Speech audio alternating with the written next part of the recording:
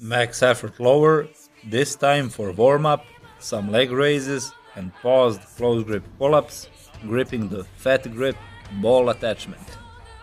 And now for the max lift. Not the high pull though. Snatch grip, deep deficit deadlift. Pulling fast and strong warm ups, hands, high pull, and rowing movement. Now ramping up the weight, but still fast, and form looks good. From this camera angle, you can check the total range of motion, which is pretty substantial. And the top set, obviously not the max though. First giant set.